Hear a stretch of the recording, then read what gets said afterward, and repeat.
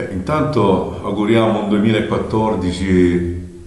diverso diciamo, di quello che abbiamo passato nel 2013. Un 2014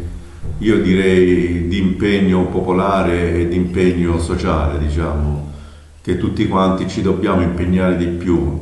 in politica, nel sociale, nei posti di lavoro, nelle strade, in famiglia. Ci dobbiamo impegnare affinché i problemi dobbiamo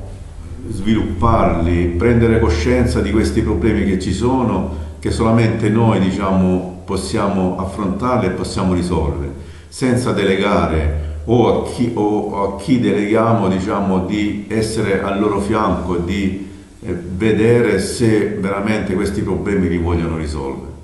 Ecco, questo è l'augurio che faccio prima di tutto a tutti quanti noi. Allora, ehm, oggi abbiamo una persona molto preparata su queste cose. Abbiamo Mario Fracasso che mm, facciamo un tipo di intervista a lui. Come vorrebbe questo 2014? La prima domanda è, in questo momento eh, in ogni parte del mondo ci sono dei focolai di guerra. Secondo lei Mario, la guerra può risolvere i problemi? Bisogna capire cosa intendiamo per guerra, perché eh, la guerra imperialista, la guerra diciamo, di, di, di, occupazione, la guerra di sterminio che eh, purtroppo diciamo, le grandi potenze, le multinazionali, le, i governanti che sostengono diciamo, queste multinazionali, sostengono diciamo, la loro sete di, eh, di, di, di occupazione, di sfruttamento non risolvono i problemi delle popolazioni. Queste guerre creano solamente distruzione, creano solamente genocidi, creano solamente oppressione e che generano altre guerre poi, altre guerre che io però preferirei più guerre di classe, cioè che l'oppresso, che l'ho sfruttato, che il popolo e faccia la sua guerra, che una guerra diciamo contro questa guerra qua, contro la guerra imperialista, che purtroppo eh, da che la storia umana diciamo eh, se, se, andiamo un po' dietro, sem- ci sono sempre state queste guerre e il popolo purtroppo ne è uscito alle volte sconfitto, alle volte ha vinto diciamo e che però eh, poi dopo non, no, non hanno fatto più gli interessi popolari queste guerre, le rivoluzioni, io le chiamerei poi le rivoluzioni popolari, le rivoluzioni comuniste, le rivoluzioni socialiste che sono avvenute nel, in tante parti del mondo. Però ritornando al discorso della guerra, eh, dobbiamo capire che cosa, che cosa intendiamo, ecco, perché il proletario, il popolo, eh, vediamo che ogni giorno è in guerra, ogni giorno per la sopravvivenza, la guerra che deve fare quotidianamente per tante famiglie, diciamo, eh, di trovare lavoro, di difendere il proprio lavoro, di difendere i propri diritti soprattutto, anche quella è una guerra. Non dobbiamo solamente vedere la guerra, diciamo, di occupazione che fanno i tanti governanti, tanti padroni, diciamo, di, di, tutto il mondo, come in Medio Oriente, come il popolo palestinese ad esempio sta subendo una guerra, di, una guerra genocida, una guerra eh, da anni e anni perché eh, vuole avere diciamo, suo, la sua terra, vuole avere i propri diritti. Ecco, però ritornando a prima, non risolvono, non risolvono i problemi, anzi, anzi alle volte li, li fa aumentare. Ecco. Ho capito. Ehm, allora ci sono eh, popoli occidentali oppure la, una piccola eh, appartenenza ai popoli occidentali che, mm, che dicono che si nascondono eh, la parola libertà nella democrazia, cioè vogliono divulgare la democrazia nei popoli più sottosviluppati, possiamo dire così, anche perché o, o forse meglio dire non vogliono perché non hanno le capacità di svilupparsi, perché magari ci sono popoli più forti che sottomettono e si nascondono con la parola libertà, oppure il sinonimo è democrazia. Che cos'è la libertà?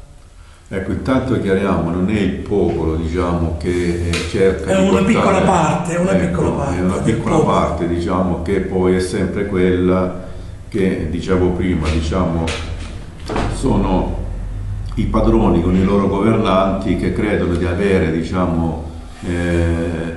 eh, siccome hanno il potere e pensano di portare la parola intanto democrazia eh, vuol dire governo del popolo, è del popolo che dovrebbe governare, che dovrebbe diciamo, eh, gestire la, pro, la, la, vita di una comunità, la vita di un paese, che questo non, non, non sta avvenendo, non è mai avvenuto eh, se andiamo un po' indietro negli anni.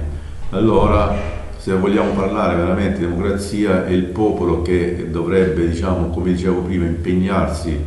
eh, tutte le forme possibili 24 ore su 24 affinché questa, questo governo, questo, eh, la, la, la, propria vita, la vita di un popolo venga veramente eh, soddisfatta, venga veramente difesa da altri interessi che sono quelli interessi dei padroni, quelli sono interessi dei pochi sanguisughi che vogliono sfruttare il popolo. E, e solamente così si può parlare di democrazia. Purtroppo nell'Occidente soprattutto questo non è mai avvenuto, è avvenuto dietro la, parola democrazia, però il popolo ha sempre sofferto, il popolo ha sempre subito diciamo, delle ingiustizie, ha visto sempre negare i propri diritti, i diritti diciamo, di vivere veramente una, degna, una, vita degna di essere vissuta. E allora quei pochi diciamo, che parlano o che vogliono divulgare la democrazia in altri, in altri paesi, in altri in, verso altri popoli, non sono altro che portare, che voler imporre dietro la, la, questa, questi, questa, questa, parola diciamo, che si nascondono, vogliono portare democrazia, ma vogliono portare solamente il loro modo di governare, che è quello di imporre ad altri popoli il loro potere, il loro, il loro potere, la loro difesa dei propri interessi, di interessi di pochi, diciamo, verso... E libertà finché ci saranno queste, queste imposizioni, queste, queste, guerre proprio per imporre questo, eh, questo modo di governare, questo modo di fare ad altri popoli, perché è giusto che ogni popolo difenda la propria, la propria storia, il popolo che deve in tutti i paesi del mondo deve diciamo eh, decidere come, come, essere governato come essere, o come vivere la propria vita e non che altri paesi o che altri governanti diciamo, di altri paesi del mondo vogliono imporre a, queste, a questi popoli.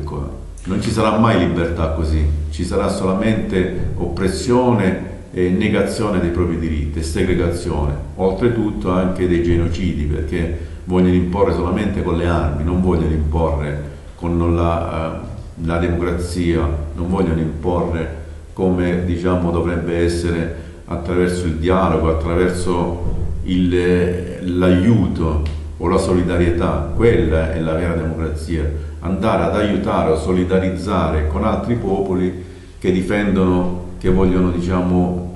gestire la propria vita nelle, nelle loro forme, nei loro modi. Diciamo. Il 2014 può essere l'anno della svolta nel nome della libertà, quella vera? Il 2014 può essere la vera svolta nel momento in cui tutti quanti noi ci impegniamo politicamente, socialmente a difendere i nostri diritti, a portare avanti le nostre esigenze, le nostre, i nostri bisogni, bisogno eh, di, di vivere una vita degna di essere vissuta. E la possiamo vivere la vita se eh, abbiamo dei nostri diritti, diritti giustamente di avere una casa, di avere un lavoro, di avere, eh, di avere da mangiare, di, avere, di essere curati eh, come sia degno di un essere umano, di respirare aria pulita invece di aria inquinata, soprattutto qua nel Salento l'aumento dei tumori aumentano sempre di più grazie proprio all'inquinamento che i vari padroni, i vari governanti che ci sono stati e che continuano ad essere non se ne fregano niente della nostra vita e pensano solamente ai loro interessi, pur diciamo, inquinando il terreno, inquinando l'aria, inquinando diciamo, eh, le falde acquifere che ci sono, eh, inquinamento da tutte le parti e solamente, diciamo, io mi auguro, solamente attraverso il nostro impegno, veramente, se ci ribelliamo, se ci impegniamo tutti quanti nella politica, nel sociale, eh, solidarizzando, aiutandoci tra di noi e rimanere uniti, uniti come sfruttati soprattutto, come oppressi, solamente così possiamo, diciamo,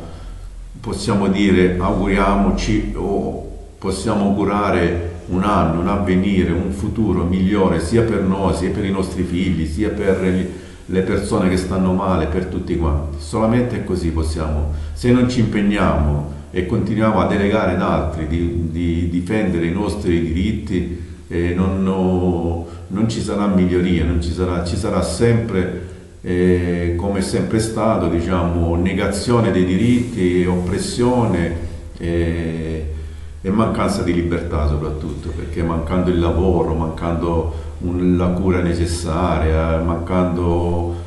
quei diritti elementari, poi libertà non ci sarà mai.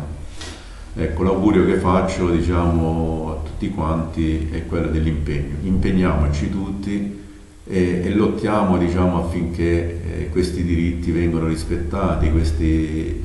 questa vita degna di essere vissuta veramente si concretizza. Grazie Mario. Io auguro anche a voi un buon 2014. Abbiamo ascoltato Mario, una persona che ha vissuto anche in prima persona la lotta della sopravvivenza, perché lui ha molta esperienza su queste cose qua, anche perché l'ha vissuto sulla propria pelle. Io auguro un buon 2014, ripeto, e Spero che, che sia l'anno della svolta.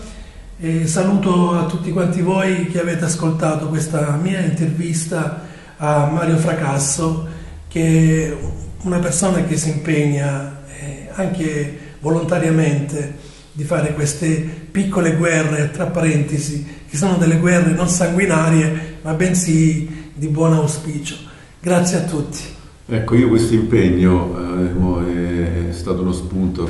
questo impegno l'ho portato avanti per entrare nella mia personale esperienza, diciamo. Io per dire la verità a 18 anni ho dovuto lasciare il mio paese, ho dovuto lasciare la mia famiglia, ho dovuto lasciare i miei amici per emigrare, andare a Torino eh, per andare a lavorare, per trovare una vita migliore.